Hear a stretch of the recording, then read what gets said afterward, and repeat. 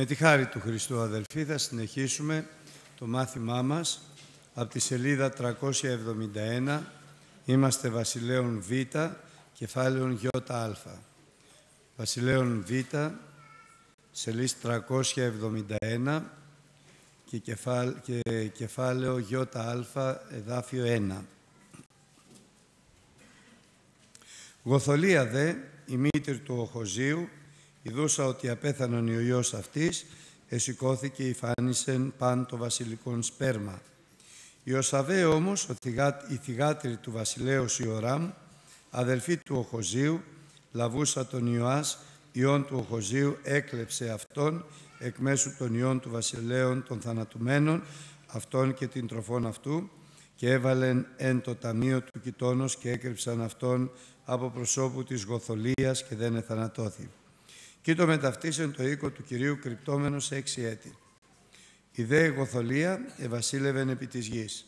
Εν δε το εβδόμο έτη η Οδαέ απέστειλε και έλαβε τους εκατοντάρχους μετά των ταξιάρχων και των δορυφόρων, έφερεν αυτούς προς εαυτόν στην οίκον του Κυρίου και έκαμε συνθήκη με ταυτόν και όρκισεν αυτούς εν το οίκο του Κυρίου και έδειξεν εις αυτούς τον Υιόν του Βασιλέως και προσέταξεν εις αυτούς λέγον τούτο είναι το πράγμα το οποίο θέλετε κάνει. Το τρίτον από εσάς, εισεργόμενοι το Σάββατο, θέλετε φυλάτη την φυλακή του βασιλικού οίκου. Το δε τρίτον θέλει είστε εν τη πύλη Σούρ. Και το τρίτον εν τη πύλη τιόπιστεν των δορυφόρων, ούτω θέλετε φυλάτη την, την φυλακή του οίκου για να μην παραβιαστεί. Και δύο τάγματα από εσάς, πάντες οι εξερχόμενοι το Σάββατον, θέλουν φυλάτη την φυλακή του οίκου του Κυρίου περί τον Βασιλέα. Και θέλετε περικυκλώνει τον Βασιλέα κύκλο, έκαστος έχων, τα όπλα αυτού εν τη χειρή αυτού. Και ως της εισέλθει στα τάξει, ας θανατώνετε, και θέλετε είστε μετά του βασιλέως όταν εξέρχεται και όταν εισέρχεται. Και έκαμον οι εκατόνταρχοι κατά πάντα όσα προσέταξε η Οδαέο ιερεύς. Και έλαβε ον έκαστος τους άνδρας αυτού τους ερχομένους το Σάββατον μετά των εξερχομένων το Σάββατον και ήλθον προς Ιωδαέ τον ιερέα. Και έδωκεν ο ιερεύς εις τους εκατοντάρχους τας λόγχας και τας ασπίδας του βασιλέως Δαβίδ τας εν το οίκο οίκιου Κυρίου. Και οι δορυφόροι έχοντες έκαστος τα όπλα αυτού εν τη χειρή αυτού παρεστάθησαν πέριξ του βασιλέως από της δεξιάς πλευράς του οίκου έως της αριστεράς πλησίων του θυσιαστηρίου και του ναού. Τότε εξήγαγεν τον ιόν του βασιλέως και επέθεσεν επ' αυτόν το διάδημα και το μαρτύριον και έκαμον αυτόν βασιλέα και έχρισαν αυτόν. Και κροτήσαντες τα σχήρας είπον ζήτω ο βασιλεύς. Και ακούσασα η Γοθολία την φωνή του λαού συντρέχοντος, ήλθεν προς τον λαόν και εις τον οίκον του Κυρίου και είδε.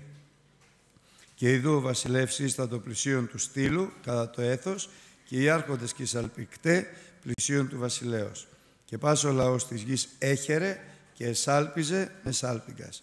Και διέριξε η Γοθολία το ημάτι αυτής και βόησε προδοσία, προδοσία. Και προσέταξεν η Οδαέ ο ιερεύς τους εκατοντάρχους, τους αρχηγούς του στρατεύματος και είπε προς αυτούς «Εκβάλλετε αυτήν έξω των τάξεων και ως της ακολουθήσει αυτήν θανατώσατε αυτόν εν ροφέα». Διότι ο ιερεύς είχε νηπεί «Ας μην θανατωθεί εντός του οίκου του Κυρίου». Ούτω έβαλον χείρας επ' αυτήν και ότε ήλθον εις την οδόν δια της οποίας οι ύποι έρχονται εις τον οίκον του βασιλέως εθανατώθη εκεί και έκανε ο Ιωδαέ διαθήκη αμέσων του Κυρίου και του βασιλέως και του λαού, ότι θέλουν είστε λαός του Κυρίου και αναμέσων του βασιλέως και του λαού.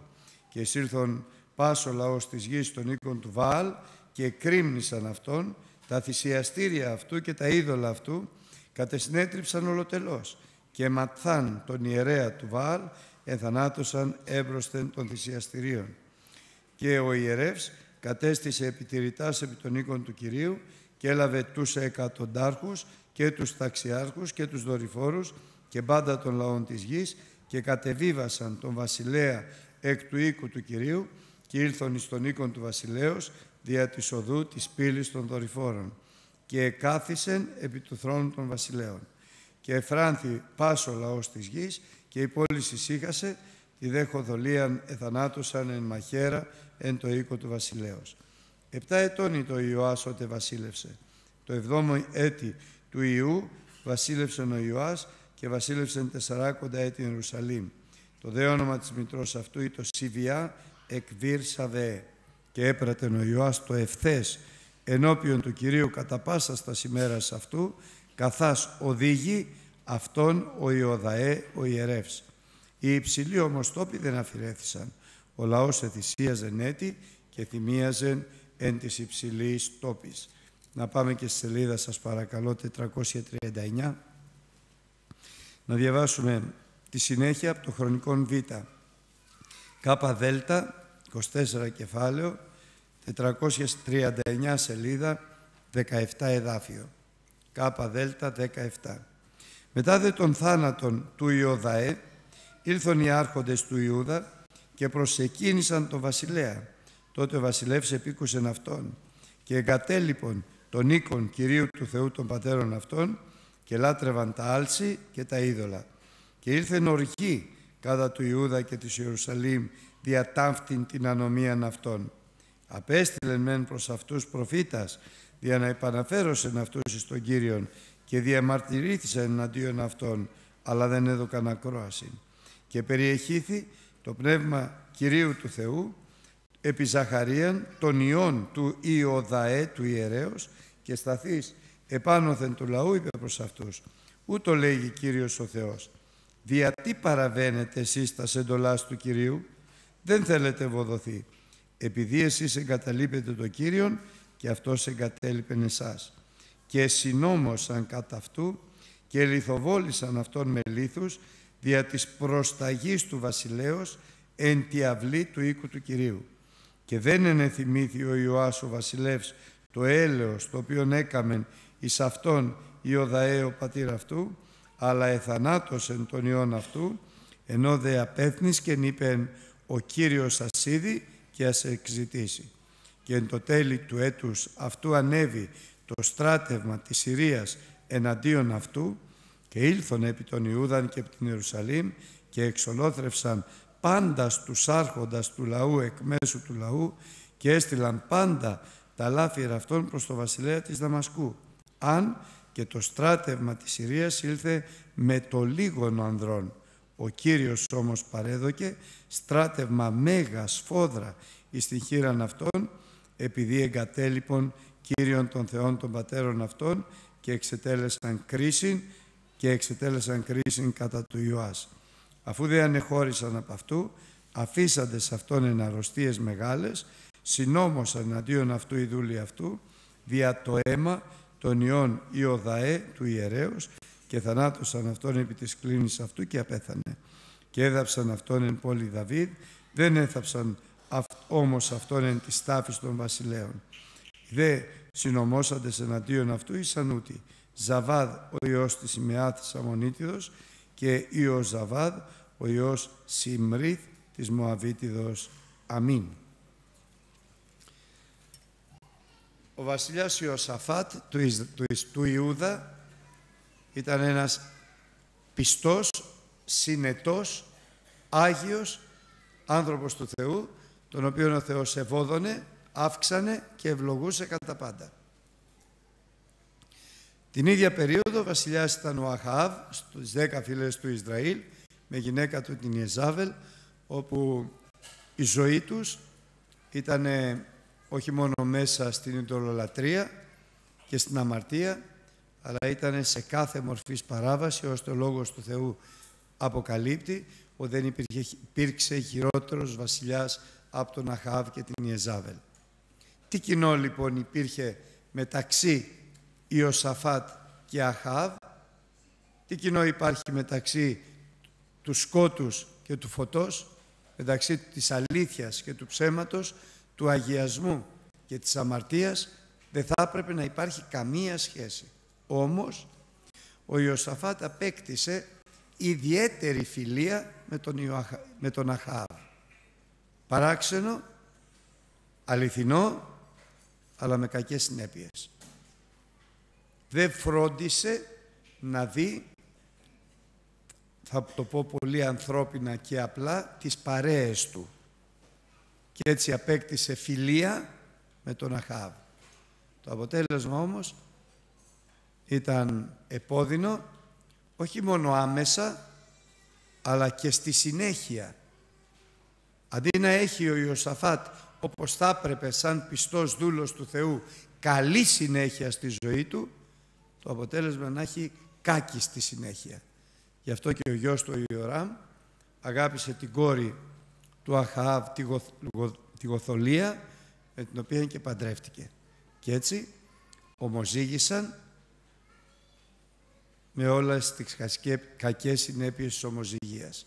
Μετεφέρθη δηλαδή η αμαρτία του βασιλέως Αχαάβ και της Ιεζάβελ μέσω της Γοθολίας και του Ιωράμ όχι μόνο στην οικογένεια του Ιωσαφάτ αλλά και στο βασίλειο του Ιούδα μια και ήταν βασιλιάς σε οτιδήποτε δηλαδή μετεφέρθη η αμαρτία και η παράβαση σε οτιδήποτε είχε υπό την εξουσία του ο Ιωσαφάτ. Ο Ιωσαφάτ πέθανε, ο Αχάβ εφωνεύθη, αλλά το κακό συνεχίζεται. Η κακή συνέχεια συνεχίζεται. Φτάνει. Ο Ιωράμ επίστη εν τέλει από τη γυναίκα του τη Γοθολία, έφτιαξαν ναό στο Βάλ, τον ελάτρευαν και όχι μόνο αυτό, αλλά κατάφεραν να πείσουν και τα παιδιά τους και τον Οχοζία, ο οποίος διεδέχθη στο θρόνο τον Ιωράμ. Και λέει η Γραφή ότι η μήτυρ του Οχοζία, η Γοθολία, ή το σύμβουλος αυτού εις το αμαρτάνι. Κοιτάξτε τι συνέχεια έχει μια προσεξία. Γι' αυτό λέει ο Λόγος του Θεού αδερφοί ότι ο Θεός μας ξεχώρισε και μας ξεχωρίζει και μας απομακρύνει από τα πράγματα του κόσμου. Μάλιστα μας θέλει νεκρούς για τον κόσμο.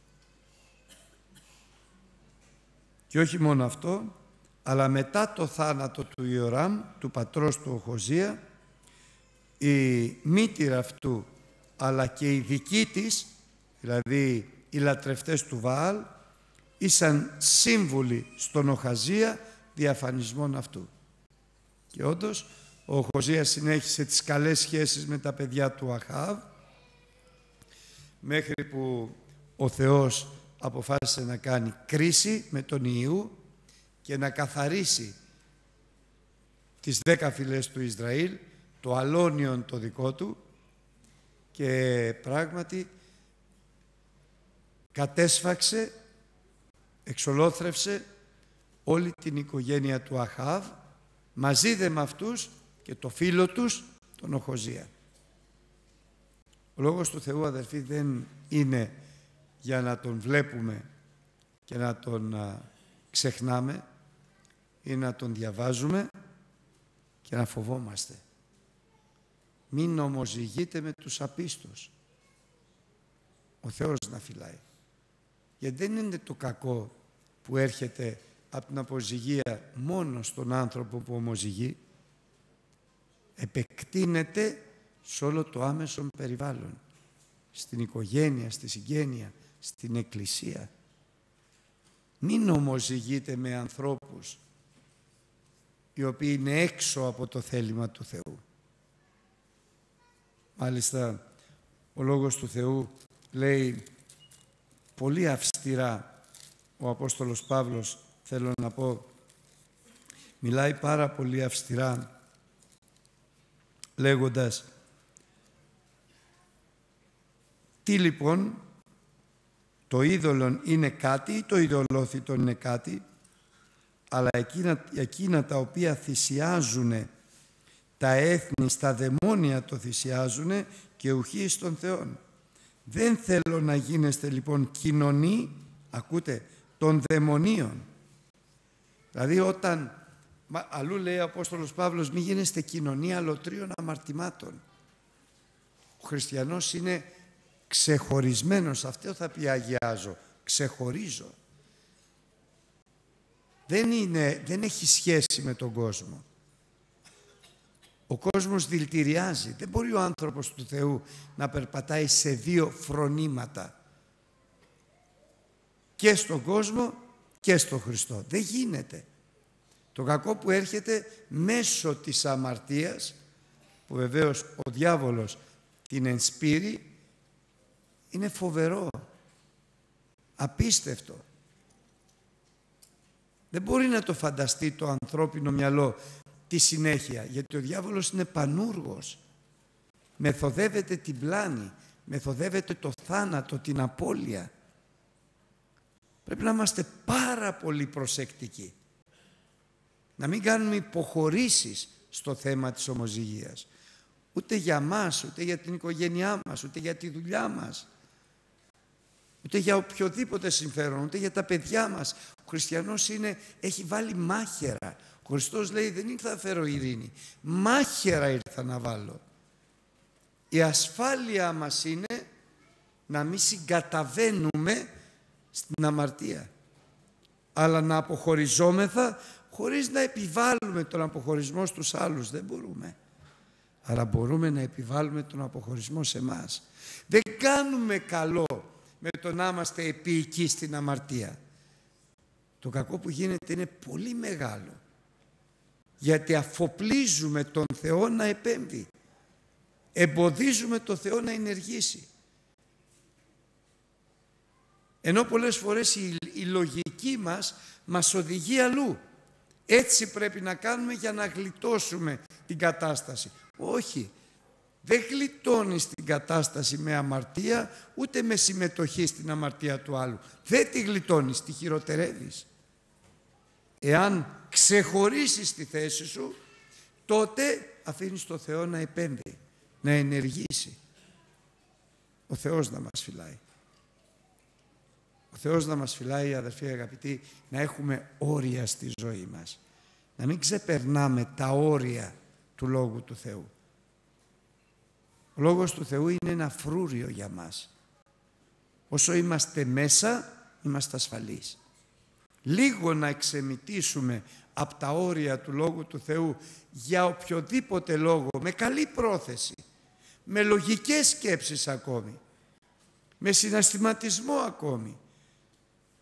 Εάν λίγο ξεφύγουμε από τα όρια του Λόγου του Θεού, το κακό είναι τρομακτικά μεγάλο και δεν διορθώνεται ή τουλάχιστον δεν διορθώνεται εύκολα. Χρειάζεται πολύ μετάνοια, πολύ επιστροφή, πολύ υπομονή και αν θα διορθωθεί. Γι' αυτό λέει ο Λόγος του Θεού, Ιδού τώρα είναι καιρός ευπρόσδεκτος, τώρα είναι η μέρα σωτηρίας. Πότε, ενώ ονομάζεται το σήμερα. Πότε είναι το σήμερα, σήμερα. Σήμερα θα, θα βάλουμε τα όρια μας. Και τονίζω, όρια στην προσωπική μου ζωή. Όρια στη ζωή μου, εμένα και της γυναίκας μου. Όρια στην οικογενειακή μου ζωή. Όρια στην εκκλησιαστική μου ζωή. Όπου έχω εξουσία και μπορώ, θα βάζω όρια. Εάν δεν έχω εξουσία, άστο ελεύθερο. Δηλαδή εγώ δεν μπορώ να βάλω εξουσία και δεν έχω την εξουσία να βάλω όρια στη δική σου οικογένεια, στη δική σου ζωή. Αλλά έχω, όρια, έχω εξουσία να βάλω όρια στη δική μου οικογένεια, στη δική μου ζωή, στα δικά μου παιδιά, όσο είναι μικρά τουλάχιστον. Όταν μεγαλώσουν δεν έχω αυτή την εξουσία. Εκεί έχω μόνο την προσευχή. Αλλά σε καμία περίπτωση δεν γίνομαι συμμέτοχος αμαρτιών. Δεν συμμετέχω στην αμαρτία όποιου ανθρώπου κι αν αγαπάω όσο πολύ κι αν το αγαπάω. Γιατί δεν βοηθάω έτσι. Δεν βοηθάω με την καλή μου πρόθεση. Δεν βοηθάω με τη λογική μου σκέψη, με τη σοφία μου την ανθρώπινη, με την υποχώρησή μου, με την επίοικιά μου. Δεν βοηθάω. Αντιθέτως χειροτερεύω την κατάσταση. Γι' αυτό και ο Κύριος τι είπε; Δεν θα σκοτώσεις μόνο τον Αχάβ και όλους. Και σκότωσε ο Ιού και τον Οχοζία. Και όταν σκότωσε τον Οχοζία, βασίλισσα πια στο, στο, στο, στον Ιούδα, έμεινε η Γοθολία. Ακούτε τι συνέπειες, τι επέκταση. Και η Γοθολία δεν πιάνεται φίλος. Προσέξτε το αυτό. Ο κόσμος δεν πιάνεται φίλος. Πίσω από τον άνθρωπο του κόσμου είναι ο ίδιος ο διάβολος. Ο διάβολος δεν πιάνεται φίλος. Τα παιδιά του διαβόλου δεν πιάνονται φίλοι. Δεν μπορείς να τους καλοπιάσεις. Δεν μπορείς να τους καταφέρεις. Όσο και έξυπνος να είσαι. Γιατί αυτός που είναι πίσω από αυτόν τον άνθρωπο είναι ο ίδιος ο πανούργος. Έμπειρος εκατομμύρια, δισεκατομμύρια χρόνια στο να πλανάει τους ανθρώπους. Ανθρωποκτόνος δε απαρχής. Έχει στόχο. Και ο στόχος του είναι η απώλεια. Δεν πιάνεται φίλος. Μην προσπαθείς να πιάσεις φίλο από τον κόσμο. Δεν πιάνεται φίλος. Και ας είναι και αδελφός σου. Και ας είναι και ο καλύτερος σου φίλος. Και ας είναι και ο πατέρας σου. Ας είναι και ο γιος σου. Δεν πιάνεται φίλος. Μόνο με προσευχή και με τη χάρη του Θεού μπορείς να ζητήσεις βοήθεια από το Θεό και να βρεις. Μόνο. Μόνο με ελπίδα στο Θεό. Μόνο με πίστη στο Θεό ότι ο Ιησούς Χριστός θα ενεργήσει, θα βρεις λύσεις στα προβλήματα. Δεν πιάνεται φίλος ο κόσμος. Γοθολία γυναίκα του Χωζία. Βασίλισσα με εξουσία. Την αγάπησε ο, συγγνώμη, του Ιωράμ, μητέρα του ο Χωζία. Την αγάπαγε τη μητέρα του ο Χωζίας. Μπορεί να μην την αγάπαγε. Αλλά δεν πιάνεται φίλος. Ήρθα να βάλω μάχαιρα, λέει ο Χριστός. Σε γονείς με παιδιά. Σε αδελφό με αδελφή. Σε νύμφη με πεθερά.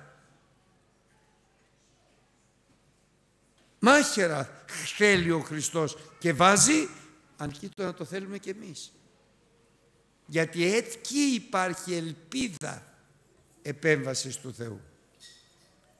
Γιατί, γιατί στον αγιασμό εργάζεται ο Θεός. Και ο αγιασμός τι είναι, ξεχωρισμός. Δεν έχει καμία σχέση το φως με το σκοτάδι. Ο διάβολος με το Χριστό. Δεν έχει καμία σχέση. Εάν τους φέρεις σε επαφή, ο Χριστός δεν μπορεί να εργαστεί. Εάν ξεχωρίσεις, ο Χριστός θα επέμβει. Γιατί ο Χριστός επεμβαίνει και απαντάει σε προσευχές Αγίων που δεν κάνουν υποχωρήσεις βγαίνοντας έξω από τα όρια του Λόγου του Θεού. Το αποτέλεσμα η Γοθολία μόλις πήρε την απόλυτη εξουσία καθώς πέθανε ο γιος της, ο Χοζίας που ήταν βασιλιάς, έκανε κάτι πάρα πολύ απλό. Σκότωσε όλα τα παιδιά και όλους τους διαδόχους του βασιλείου του Ιούδα. Γιατί; Γιατί εκκινήτω από το διάβολο, ο οποίος είναι ανθρωποκτόνος και ο οποίος δεν ήθελε να υπάρξει συνέχεια στη βασιλεία του Ιούδα. Δεν ήθελε να υπάρξει συνέχεια και βρήκε τον τρόπο να τα καταφέρει. Η Γοθολία δεν πιάνεται φίλος, θα σκοτώσει τελικά. Και τι θα σκοτώσει, όλους. Όσους μπορεί. Και τώρα έχει εξουσία και μπορεί. Και σκότωσε. Και δεν άφησε κανέναν ζωντανό. Αλλά ευχαριστούμε τον Θεό που έχει αγαθή πρόνοια. Γιατί η Οσαβέ, η θυγάτηρ του βασιλέως του Ιωράμ, αδελφή του Οχοζίου, θεία των παιδιών του Οχοζίου, έκλεψε ανάμεσα σε όλα τα παιδιά του Οχοζία, του βασιλέως, που επρόκειτο να θανατωθούν από την Γοθολία, τον μικρότερο ένα μωράκι ενός έτους. Τον Ιωάς. Αυτή είναι η αγαθή πρόθεση του Θεού. Κοιτάξτε τι ωραίο τρόπο που βρίσκει ο Θεός να συνεχιστεί το έργο Του μία θεία, μία αδελφή του Οχοζία. Και το πήρε μαζί με την τροφό του, το έκρυψε στο ναό, εκεί ο Ιωδαέ ήταν ο ιερεύς, το έδωσε στον ιερέα, να το φυλάξει και το φύλαξε 7 χρόνια. Η Γοθολία νόμισε ότι έχει τώρα την απόλυτη εξουσία. Αλλά την απόλυτη εξουσία γι' αυτό αδελφοί, αξίζει τον κόπο να είμαστε με το Θεό. Την απόλυτη εξουσία την έχει ο Θεός. Όταν είσαι με το Θεό, ο Θεός θα ενεργήσει. Μα η Γοθολία είναι βασίλισσα. Δεν έχει εξουσία. Ο Φαραώ ήταν δυνάστης. Δεν είχε εξουσία μπροστά στο Μωυσή που ο Θεός ήταν μαζί του. Στα 7 χρόνια αποφάσισε ο Ιωδαέ να συστήσει τον Ιωάς και να χρήσει τον Ιωάς βασιλιά του Ιούδα. Σκέφτηκε λοιπόν, φώναξε τους έχοντες την εξουσία τους άρχοντες, τους όρισε σε τρεις βάρδιες για να φυλάνε το παιδί να μην έχει καμία εξουσία η Γοθολία να επέμβει και μαζί με τους στρατιωτικούς και με όλους τους άρχοντες ήρθε η ώρα που εμφάνισε στο ναό τον Ιωάς, 7 χρονό παιδί, 8 χρονό παιδί, 7 μετά από 7 χρόνια και τον έχρισε βασιλιά. Τον έχρισε βασιλιά ο άνθρωπος του Θεού, γιατί ενήργησε ο Θεός. Και όλοι χάρηκαν. Όλοι χάρηκαν και φώναζαν «Ζήτω ο βασιλιάς». Στις φωνές τις άκουσε και η Κοθολία πλησίασε κοντά και είδε να φωνάζουν και να ζητοκραυγάζουν για το βασιλέα τον Ιωάς. Και άρχισε να φωνάζει προδοσία, προδοσία, αλλά πια είχε χάσει την εξουσία της, γιατί τελικά την εξουσία την έχει ο Θεός.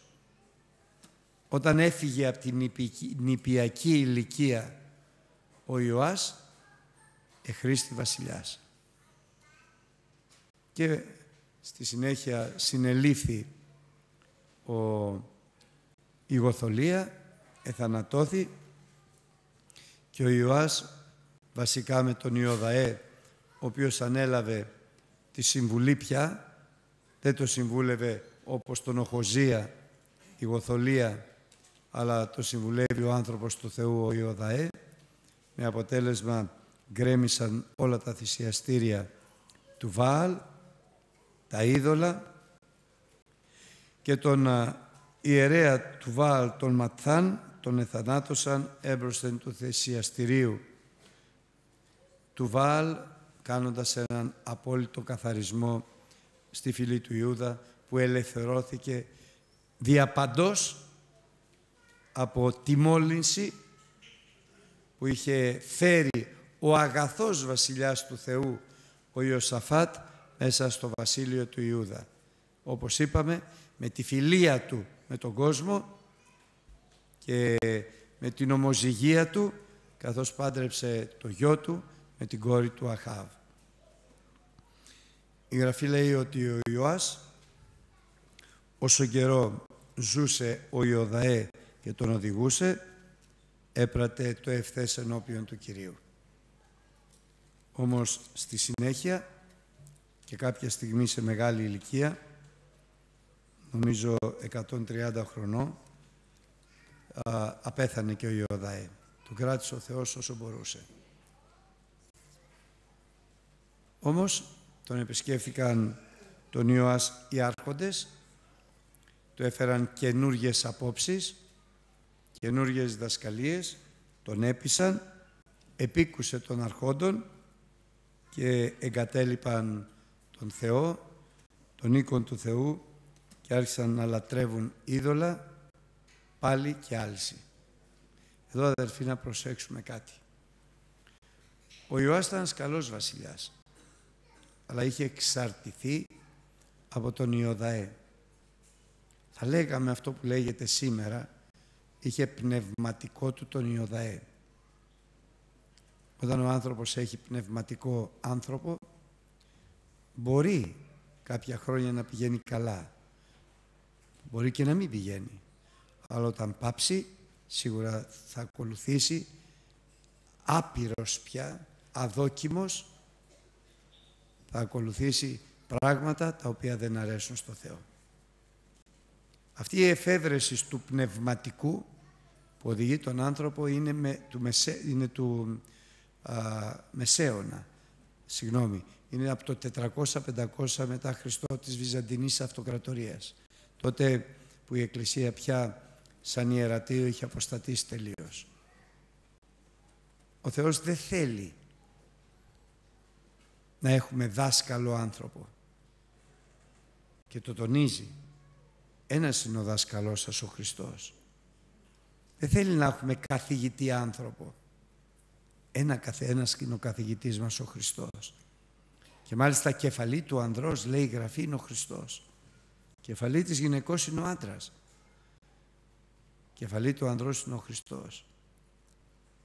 Ο άντρας παίρνει οδηγία αλλά και στέκεται δεν χρειάζεται μεσίτες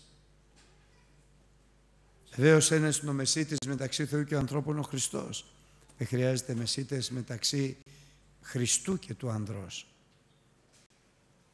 γιατί αλλιώς δεν γίνεται δόκιμος δεν μπορεί να δοκιμαστεί γιατί δεν μπορεί να έχει δική του άποψη, δική του γνώμη.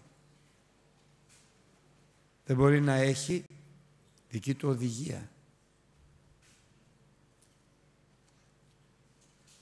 Είναι ανάγκη να απογαλακτίζεται ο άνθρωπος. Βεβαίως υπάρχει η νηπιακή ηλικία της δικαιοσύνης, η παιδική ηλικία της πίστης, που έχει εξουσία και ευθύνη ο πατέρας και η μητέρα στην Ιμπιανική ηλικία μέχρι έξι χρονών να μεγαλώνει τα παιδιά του με δικαιοσύνη Θεού, με τι δικαιοσύνη του Θεού, όχι τη δικαιοσύνη την ανθρώπινη, με το Λόγο του Θεού.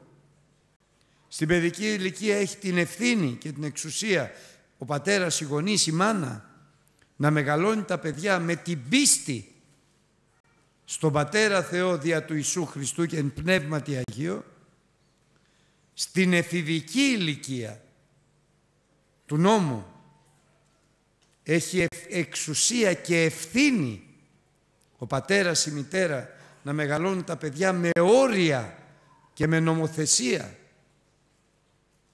Αλλά όταν το παιδί μεγαλώσει για τα 18 χρόνια και πάνω, το παιδί πρέπει να σταθεί μόνος του. Από εκεί και πέρα οι γονείς μόνο προσευχή μπορούν να κάνουν και να μην συμμετέχουν σε αμαρτίες. Μόνο προσευχή και συμβουλές, αλλά όχι καθοδήγηση. Πρέπει ο άνθρωπος πια να γίνει άντρας και μάλιστα άντρας πίστεως και η γυναίκα να γίνει γυναίκα πίστεως. Να έχει δική της, δική του επιλογή Συμβουλές δίνουμε ο ένας τον άλλον και πρέπει. Κατεύθυνση δεν δίνουμε. Εξάρτηση. Όσα παιδιά εξαρτώνται από τον πατέρα ή τη μητέρα. Στο τέλος γίνονται, είναι πάρα πολύ δύσκολο να βρουν το δρόμο τους πάρα πολύ δύσκολο. Γιατί χρειάζονται πια παιδαγωγό μέχρι τα βαθιά τους γεράματα. Αλλά παιδαγωγός στη ζωή μας είναι ο Χριστός. Και πρέπει να είναι ο Χριστός. Το να μεγαλώσουμε παιδιά δεν είναι απλό πράγμα. Χρειαζόμαστε παιδεία και νουθεσία να έχουμε που μόνο ο Θεός μας τη δίνει. σοφία και σύνεση. Αλλά ιδιαιτέρως δεν αφήνουμε να εξαρτώνται τα παιδιά μας από μας. Βλέπετε και η φύση μας διδάσκει. Μέχρι πόσο καιρό ταΐζουνε τα κλωσόπουλα, η κλώσσα, τα χελιδόνια, τα χελιδονάκια. Μέχρι να μάθουνε να πετάνε μόνα τους. Μετά, άστα. Όχι ασίδωτα, με προσευχή, με συμβουλή, αλλά αυτοί θα παίρνουν την απόφαση. Πες μου τι να κάνω πατέρα, προσευχές του να σου πει ο άλλος ο πατέρας σου. Και εγώ θα προσευχηθώ, αλλά έχεις άλλο πατέρα. Και αυτός θα σου πει. Να εκπαιδεύονται να γίνονται άντρες, άντρες πίστεως, γυναίκες πίστεως. Αλλά και εμείς οι μεγαλύτεροι, μην αφαιρούμε από την νεολαία τη δυνατότητα της απόφασης. Και η συμπεριφορά μας πρέπει να είναι τέτοια. Οι πρεσβύτεροι, οι επεύθυνοι της νεολαίας, που πραγματικά καθένας να παίρνει μόνος του τις αποφάσεις του. Μόνος του. Δεν θα πάρω εγώ απόφαση για σένα. Δεν θα σου πω εγώ τι θα κάνεις. Αλλά θα σε στείλω εκεί που με έστειλε και εμένα ο πατέρας μου, ο ουράνιος, στο Χριστό. Αυτός θα σου πει τι απόφαση να πάρεις. Εγώ το πολύ πολύ να σου κάνω μια ανάλυση. Εγώ να σου πω, θα προσευχηθώ και αν μου φανεράσει κάτι ο Θεός, μπορεί και να σου το πω. Αλλά την απόφαση εσύ. Και το παιδί πρέπει να το ξέρει. Ο νέος πρέπει να το ξέρει. Πρέπει να τον αφήσουμε να πάρει τη ζωή στα χέρια του. Γιατί αλλιώς κάποια στιγμή θα λείψουμε. Και δεν λέω να λείψουμε από τη ζωή, δεν θα είμαστε πάντα δίπλα του. Προσέξτε αδερφοί την εξάρτηση. Να δημιουργούμε νέους ανεξάρτητους αλλά πιστούς. Νέες ανεξάρτητες που, μπορούν να, που ξέρουν και μπορούν τι πρέπει να κάνουν στη σχέση τους με το Θεό και στη ζωή. Δεν μπορεί να είσαι όλο δίπλα του και να λες αυτό θα κάνεις, αυτό δεν θα κάνεις. Πρώτα πρώτα θα τα κάνεις όλα λάθος. Γιατί είσαι άνθρωπος. Θα, θα, θα παρασύρεσαι από τα συναισθήματά σου. Θα παρασύρεσαι από την αγάπη σου.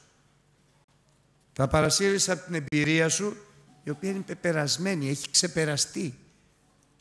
Άλλη είναι η εμπειρία που έχω εγώ, που είχα εγώ όταν ήμουν 20 χρονών και άλλες είναι οι εμπειρίες που έχουν σήμερα τα παιδιά 20 χρονών. Αν θέλω να τους συμβουλεύσω, μόνο με προσευχή και με οδηγία Θεού. Έχουμε όμως αυτή την κακή συνήθεια. Να θέλουμε να κάνουμε εμείς τα παιδιά μας ό,τι θέλουμε. Γιατί νομίζουμε ότι τα ξέρουμε καλύτερα. Και δεν έχουμε καταλάβει ότι οι βουλές μας δεν είναι βουλές του Θεού. Και οι οδοί μας δεν είναι οδοί του Θεού. Και το αποτέλεσμα καταστροφή. Καταστροφή. Εξουσία έχουμε, επαναλαμβάνω, στην υπηαλική ηλικία να τους κηρύττουμε τη δικαιοσύνη του Θεού. Στην παιδική ηλικία εξουσία έχουμε να τους κηρύττουμε πίστη. Στην εφηβική ηλικία έχουμε εξουσία να βάζουμε όρια. Στην αντρική ηλικία έχουμε εξουσία μόνο να προσευχόμαστε, να λέμε τη γνώμη μας και να τα σταματάμε εκεί. Γιατί θα κάνουμε, συγχωρέστε μου θα το πω, όχι άνδρες πίστεως, ευνούχους πίστεως. Ανθρώπους που δεν μπορούν πια να πάρουν τη ζωή στα χέρια τους. Δεν μπορούν να κάνουν τίποτα μόνοι τους. Τα περιμένουν όλα πια από τον μπαμπά και τη μαμά. Και το αποτέλεσμα, τραγικό. Τραγικό. Και η ευθύνη στους γονείς. Η ευθύνη στους πρεσβύτερους. Η ευθύνη στην εκκλησία. Η ευθύνη στον ποιμένα. Γι' αυτό ο Απόστολος Παύλος τι λέει; Δεν είπα μην νομίζετε ότι είμαστε τίποτα εμείς. Ούτε δάσκαλοι, ούτε αφεντικά, ούτε ηγέτες, ούτε ηγεμόνες. Δούλοι είμαστε να σας υπηρετούμε. Να σας υπηρετούμε στις ανάγκες σας. Και όταν μας ζητάτε βοήθεια να κάνουμε ό,τι μπορούμε. Αλλά οι γονείς πρέπει να καταλάβουν ότι και στα παιδιά τους είναι δούλοι. Δεν είναι αφεντικά. Δεν είναι κυρίαρχοι. Δεν είναι δικά τους τα παιδιά. Δεν είναι δικά μας τα παιδιά. Ο Θεός μας τα εμπιστεύτηκε για λίγο να τα οδηγήσουμε στην υπιακή ηλικία μέσα στη δικαιοσύνη του Θεού, στην παιδική ηλικία μέσα στην πίστη στον Πατέρα και στον Υιό και στο Πνεύμα το Άγιο και στην εφηβική ηλικία μέσα σε όρια του Λόγου του Θεού. Και έτσι θα μάθαν όλα τα παιδιά. Και τη δικαιοσύνη την έχουν μάθει παιδιόθε, από νηπιακής ηλικίας και την πίστη την έχουν μάθει από την παιδική τους ηλικία και όρια μέσα στα οποία πρέπει να ζουν τα έχουν μάθει στην εφηβική τους ηλικία. Αν δεν τα κάνεις αυτά σε αυτές τις ηλικίες δεν μπορείς να τα κάνεις όταν μεγαλώσεις. Δεν γίνεται τίποτα. Γι' αυτό όταν μπαίνουν μέσα νέοι άνθρωποι από τον κόσμο, οι πρεσβύτεροι, οι παλαιοί αδελφοί, δεν, δεν τους παίρνουν να τους κάνουν οπαδούς. Έλα και θα σου λέω εγώ τι θα κάνεις. Γιατί υπάρχει αυτό το πνεύμα. Θυμάμαι, ήμουνα στην Αυστραλία και προσευχηθήκαμε και ο Κύριος ήρθε και βάφτισε μια κοπελίτσα παντρεμένη με παιδιά. Με δύναμη, με πνεύμα Άγιο, χαρά. Και όταν σηκώθηκε μου λέει, από εδώ και πέρα αδελφέ, ό,τι μου λες θα κάνω. Όχι, λέω, χάθηκε στο καριάρα μου. Αν κάνεις ό,τι σου λέω, καταστράφηκες. Θα κάνεις ό,τι σου λέει ο Χριστός και μάλιστα επειδή είσαι παντρεμένη, θα κάνεις ό,τι σου λέει ο άντρας σου. Αυτός είναι το, ο Κύριός σου μέσα στη ζωή αυτή. Και να προσεύχεσαι να του δίνεις σοφία. Και να προσεύχεσαι να τον κάνει άντρα πίστεως. Και να το συμβουλεύεις με τη χάρη του Χριστού να διορθώνεται και να δέχεσαι τη συμβουλή του ώστε ο άντρας να προσεύχεται και να συμβουλεύει να γίνει η γυναίκα πιο καλή μάνα και η γυναίκα να προσεύχεται και να συμβουλεύει τον άντρα να γίνει ο άντρας της πιο καλός πατέρας για να είναι και οι δυο καλοί γονείς. Σύμφωνοι. Όχι να κάνει ο καθένας ό,τι θέλει. Εγώ θα σε οδηγώ να πας εκεί. Όχι μην πας εκεί, εκεί θα πας να λέει η μάνα. Τέλειος το παιδί θα γίνει δίγνωμο. Θα έχει δύο φρονήματα. Ποιον να ακούσει, σε ποιον να υποταχθεί. Και ιδίω αν δεν το αφήνεις και την πρωτοβουλία σε όλες τις ηλικίες που χρειάζεται, το, το παιδί το καταστρέφεις. Το καινούριο τον αδελφό τον καταστρέφουμε. Την καινούργια αδελφούλα έρχεται στην εκκλησία, βλέπει το Χριστό, αισθάνεται ότι όλοι εδώ είναι Άγιοι και είναι. Ό,τι μου πείτε θα κάνω. Όχι. Θα πας στο Χριστό να σου πει τι θα κάνεις. Άμα είσαι ελεύθερη. Αν θέλεις γνώμη και συμβουλή, δεν βιάζομαι να σου δώσω να προσευχηθώ. Ξέρετε τι, τι μεγάλο κακό μπορούμε να κάνουμε. Είχε έρθει ένας αδερφός και μου λέει αδερφέ σκέφτομαι να κάνω αυτή τη δουλειά. Τι λες εσύ, επειδή ξέρεις από αυτά. Του λέω για περίγραψέ μου, τι περίγραψε. Πάρα πολύ ωραία δουλειά. Λέω, να, πολύ καλή δουλειά, αλλά συγκρατιέμαι. Κάτσε όμως του λέω να προσευχηθούμε. Μα κοίταγε καλά καλά. Να προσευχηθούμε πρώτα, να ζητήσουμε βοήθεια από το Θεό. Γιατί όσες φορές έχω πει γνώμη, έχω κάνει λάθος. Πάμε στην προσευχή μου, λέει ο Κύριος, να μην το κάνει, παγίδα είναι. Τώρα πώς θα το πω, αυτός το είχε πιστέψει. Πήγα και του το είπα. Μ' άκουσε. Και σώθηκε. Μετά από λίγο αλλάξαν οι συνθήκες αυτές βάσει των οποίων τα πράγματα ήταν άριστα. Ένα παιδί μου ήθελε να πάει να κάνει μάστερ. Πολύ ωραία ιδέα. Πήγε, τακτοποίησε τα οικονομικά, όλα, όλα, όλα τακτοποιημένα. Χαρά και εγώ, μου είπε τι ακριβώς θα κάνει, πάρα πολύ ωραίο ήταν. Πάω και προσεύχομαι και λέω Χριστέ μου βοήθησέ τον όπως κάνω πάντα. Μου λέει να μην πάει. Τότε θα του πω. Πώς θα του το πω. Έκανα την καρδιά μου πέτρα, πάω και του λέω μην πας. Θύμωσε. Και γιατί το έπεσε ο Θεός και δεν μου το είπε εμένα. Πήγαινε ρώτα τον. Ξέρω εγώ τι να σου πω. Γιατί εσύ το έχεις αποφασίσει. Ό,τι θες κάνε. Δεν σου λέω τι θα κάνεις, ό,τι θες κάνε. Μ' άκουσε. Και ευτυχώς που δεν πήγε εκεί. Για τις έξι μήνες περίπου ανοίγει κάτι άλλο ο Θεός που πραγματικά ήταν από αυτόν. Τον ευλόγησε και είναι ακόμη ευλογημένος. Μην βιαζόμαστε να λέμε συμβουλές. Ιδιαιτέρως στα παιδιά μας, ιδιαιτέρως σε αυτούς που αγαπάμε. Η συμβουλή μας 100% θα είναι λάθος. Με ακούτε; 100% θα είναι λάθος. Μόνο αν πάμε στο Θεό η συμβουλή μας θα είναι σωστή. Ο Ιωδαέ την πάτησε.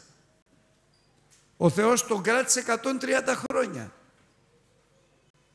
Αν θυμάμαι καλά την ηλικία του, να μην το ψάξω τώρα. Περβολικά χρόνια. Πέθανε όμως. Τώρα, τώρα ψάχνει να βρει άλλους συμβούλους. Μπορεί μόνος του. Δεν έχει τώρα τη δύναμη. Δεν έχει μάθει να προσεύχεται, να σκέφτεται, να ενεργεί μόνος του. Είναι ευνούχος. Και έρχονται οι άρχοντες και εύκολο θύμα τους υπήκουσε. Και τι του είπανε, παράβαση, αμαρτία. Σε τέλεια αδυναμία τους άκουσε. Ο Θεός όμως λυπήθηκε και στέλνει προφήτες. Και μάλιστα το γιο του Ιωδαέ, τον ευεργέτη του Ιωάς, τον Ζαχαρία. Και προφητεύει και λέει, ούτω λέγει Κύριος ο Θεός. Γιατί παραβαίνετε τα σεντολάς του Κυρίου, δεν θα ευοδοθείτε. Δεν μπορεί να παραβαίνεις, να βγαίνεις έξω από τα όρια του Λόγου του Θεού και να ευοδοθείς. Δεν γίνεται. Δεν θα ευοδοθείτε. Επειδή εσείς εγκαταλείψατε τον Κύριο και φύγατε έξω από τα όρια και ο Κύριος σας εγκατέλειψε εσάς. Και ξέρετε τι έκαναν οι άρχοντες και ο Ιωάς. Τον σκότωσαν. Φοβερό δεν είναι. Τον σκότωσαν. Δεν άντεξαν την αλήθεια του Πνεύματος του Αγίου. Όχι μόνο δεν τη δέχτηκαν, το σκότωσαν κιόλας. Και ο, ο Ζαχαρίας πριν πεθάνει είπε ο Κύριος ας εξητήσει. Και ο Χριστός ξέρετε τι λέει. Όταν πήγαν να το σταυρώσουνε, όταν το επετέδησαν οι γραμματείς και οι Φαρισαίοι, οι υποκριτές, λέει δια τούτο, «Ιδού εγώ αποστέλως σε εσάς προφήτες και σοφούς και γραμματείς και από αυτούς θα θανατώσετε, θα σταυρώσετε, θα μαστιγώσετε, θα διώξετε από πόλη σε πόλη για να έλθει επάνω σας το αίμα, πάνε αίμα δίκαιων που χύθηκε επί της γης από του αίματος του Άβελ έως του αίματος Ζαχαρίου τον οποίον εφωνεύσατε μεταξύ του θυσιαστηρίου. Το θυμάται ο Θεός αυτό που έκανα. Το αποτέλεσμα χάθηκε η εύνοια του Θεού, χάθηκε η βοήθεια του Θεού και είναι φοβερό στον άνθρωπο που έχει μάθει να ζει με την εύνοια και τη βοήθεια του Θεού να τα χάσει. Φοβερό είναι. Δεν καταλαβαίνει τι του γίνεται, δεν σου λέει τι συμβαίνει. Στράτευμα μεγάλο είχε. Ξεσηκώνει ο Θεός τον Αζαήλ, το βασιλιά της Συρίας, με μικρό στράτευμα επιτίθεται εναντίον του λαού του Ιούδα, που είχε μεγάλο στράτευμα και τον διέλυσε. Και του πήρε όλα τα υπάρχοντα. Και γιατί αυτό, γιατί ο Ιωδαέ Άγιος άνθρωπος του Θεού δεν φρόντισε να βοηθήσει τον Ιωάς που τον αγαπούσε τόσο πολύ να ανοίξει τα φτερά του, τα φτερά της πίστης του, να πετάξει προς τον ουρανό χωρίς την επιβολή του. Ο Θεός να μας φυλάει, αδερφοί. Να προσέχουμε πως μεγαλώνουμε τα παιδιά μας, γιατί δύσκολα διορθώνονται τα πράγματα. Ιδίως οι μικροί γονείς που έχετε μικρά παιδιά. Να προσέχουμε προς συμπεριφερόμαστε σε νέους αδελφούς που φέρνει ο Χριστός στην Εκκλησία, νεογέννητους, όχι κατά τη σάρκα, κατά το πνεύμα, για να τους βοηθάμε πραγματικά, με βοήθεια ουράνια. Άρα δύο πράγματα, αδελφοί, είναι αυτά που μπορούν να καταστρέψουν τη ζωή μας. Η ομοζυγία με μεγάλη και κακή συνέχεια κακές συνέπειες και η εξάρτηση. Η εξάρτησή μας από ανθρώπους ή να υποχρεώνουμε με τον τρόπο μας, από την αγάπη μας, από το συνέστημά μας, να εξαρτώνται άλλοι από μας. Ο Θεός, ο Λόγος του Θεού τι λέει, όποιον ο Χριστός ελευθερώσει, αυτός είναι πραγματικά ελεύθερος. Και αυτόν που ελευθερώνει ο Χριστός, κανένας μας δεν έχει εξουσία να τον υποδουλώσει. Κανένας μας. Αντιθέτως, υποχρέωση έχουμε να τον υπηρετήσουμε. Να τον βοηθάμε, να τον στηρίζουμε, να τον ενισχύουμε και να τον παρηγορούμε. Όχι να τον εξουσιάζουμε. Αμήν. Βοήθα μας Χριστέ μου να είμαστε καλοί παιδαγωγοί Κύριε μου.